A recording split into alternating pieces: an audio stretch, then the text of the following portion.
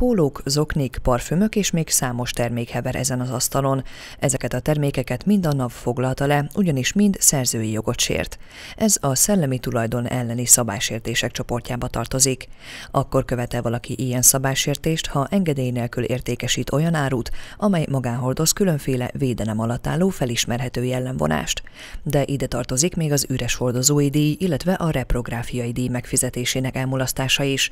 Ez sok esetben a pendrive-ok esetében fordul elő. Abban az esetben, hogyha ilyen adathordozót, pendrive-ot vagy memóriakártyát vásárolunk, és nincs rajta az üres hordozói díj megfizetését igazoló hologramos kis matrica, akkor tudjuk, hogy az a termék engedély nélkül került forgalomba, illetve nagy valószínűséggel hamis termékről van szó. Az ilyen termékeket szűri ki a NAV például az interneten történő hirdetések figyelésével, vagy üzletekben vásárakon kínált termékek vizsgálatával.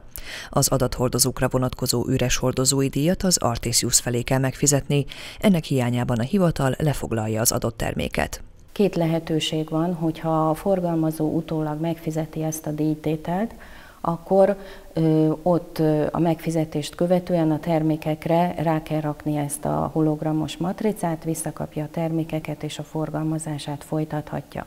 Abban az esetben viszont, hogyha rájönnek arra a kollégák, hogy ezek hamis termékek, akkor a lefoglalásban marad a termék, és szabálysértési eljárás indul, és büntetést kell fizetni. A büntetés pedig 5-től 150 ezer forintig is terjedhet.